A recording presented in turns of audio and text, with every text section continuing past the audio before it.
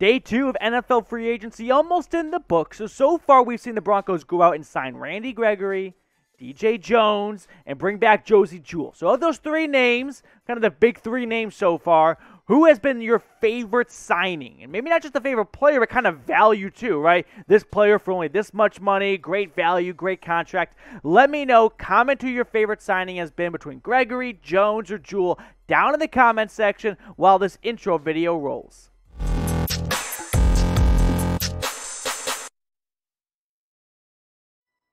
Welcome into the Broncos breakdown. Coming up on tonight's show, we're going to look at a free agency tracker video, seeing what the Broncos have done so far. Kind of refresh our memory a little bit. Like, oh yeah, that was uh, yesterday's news in the NFL. We've got so many signings going on. I forget every now and then who has been signed. So, so far, Denver has made three big signings. First one being Randy Gregory, the biggest of them all in just terms of contract value, right? Hopefully, this signing works out well. After my initial video about Gregory, I've had more time to think about it and have more time to look on Twitter and get some other opinions on the matter. And I've kind of warmed up to the idea of Gregory, who signed, by the way, a five-year, $70 million contract with only 28 million in guarantees, which means the Broncos likely have an easy out after two seasons if it doesn't work out well. But the facts are, and I don't want to drag Gregory's name through the mud here because I want him to move on from his past because I'm sure he would too. He's had some issues with substance abuse, and hopefully, with the new direction the NFL is going and not being super hyper focused on marijuana and weed and pot, I sound like an 80 year old man saying that, but hopefully they're not so, you know, now they're not so focused on that. Gregory hasn't had an issue with it in the last two years we can kind of move on from those uh, bad days in his early career of you know not being able to stay on the field because of suspensions. Gregory last season played 12 games for the Cowboys and had six sacks. So I think the hope is if you had Gregory for a full season, you get double digit sack numbers. And I know that a lot of us, and myself included, are a little upset that the Broncos did not sign Von Miller or Chandler Jones.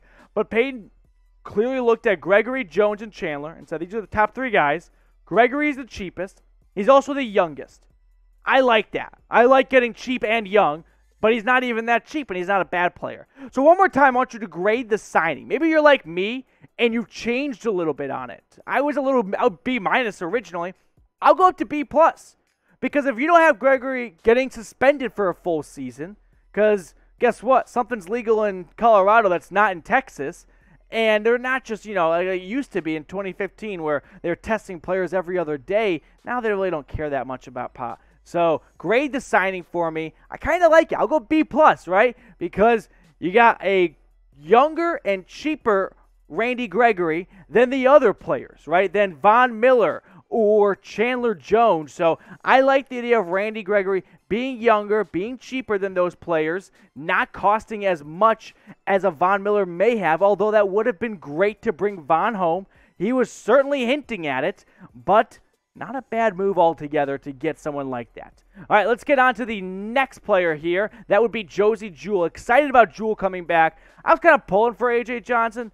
87% because we went to the same college, Tennessee. So it's always fun, like I've said before, to have your college and your pro team have a little bit of a linkling, uh, you know, a connection. But Jewell signed a two-year, $11.5 million contract. And if we don't remember, I'll remind you, he did miss pretty much the entire 2021 season. Remember, he tore his pec on that special teams play in the Jags game in week two, and it's kind of like, oh God, Jewell got earned on special teams. Like, what a waste of a play that was. But I think he's going to be the starter alongside Baron Browning out of Ohio State last year. So that's going to be a, a good but cheap du- duo, right? you you I don't think a Bobby Wagner signing is going to come now, but I, am okay with especially considering the direction the Broncos defense is that doesn't require your old stereotypical Mike linebacker in the middle. It's going to be a brute run stopping linebacker.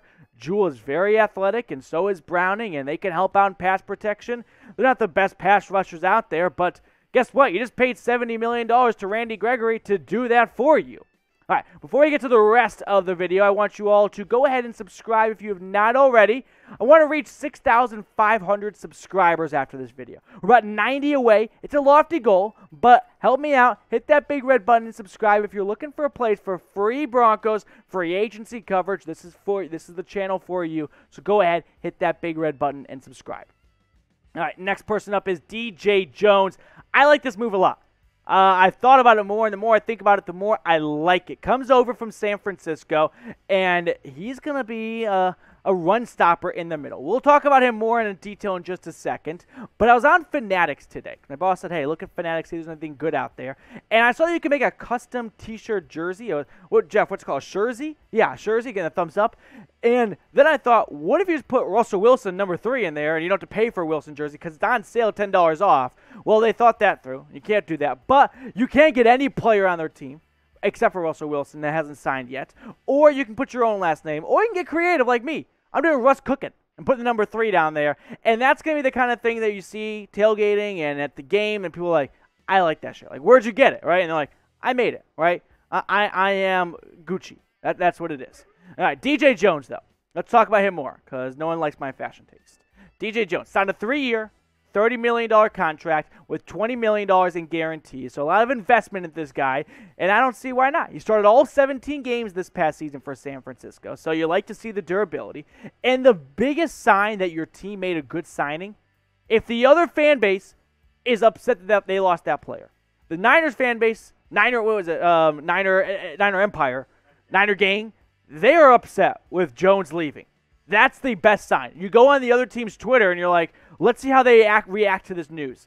And if they don't like it, you know your team did something right. Because I'm going to be, let me be honest, it's not like I spend my time studying other teams' interior defensive linemen, but I do know Jones's name because he was pretty good last season. And if you look at the PFF grades, Pro Football Focus does a, a good job of grading those interior guys on the offensive line and defensive line. He was one of the best defensive linemen. We did a video on this last night from the crib, and you saw that he ranks 18th out of 110 in 2021. Overall, 73, which in PFF world, that's very good.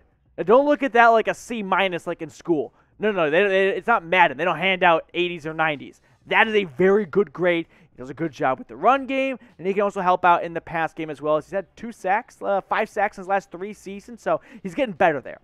All right, who else do you want the Broncos to sign, though? One more time for you guys to weigh in on the show. Not many big names left uh, that are linked to the Broncos. I don't see them having the budget to really go out and do it, but uh, it doesn't mean we can't have fun with it. I think GM George Paton is out of fireworks. The, the, the Randy Gregory, that was the big one, right? And we had our fun last week. We got Russell Wilson, so I'm not going to be too bummed out about it. But I don't see a Chandler Jones coming over. Terron Armstead or Trent Brown, kind of the tackles I've been looking at to fill that right tackle spot, probably priced yourself out after getting Randy Gregory. So maybe they go cheap and draft someone for that right tackle position, but they've already filled an edge spot, filled the linebacker spot, and then they added on to the interior defensive line. We're just a tackle away. All right, that's going to do it for us on today's show. Make sure you subscribe if you've gone this far in the video and you're not hitting that big red button. I don't know what else I can do. So please subscribe. Uh, help me keep my boss happy with me, and that way I don't have to, you know, be on lunch duty every day. Hit that big red button, subscribe, and I'll catch you guys later with the latest Broncos news and rumors.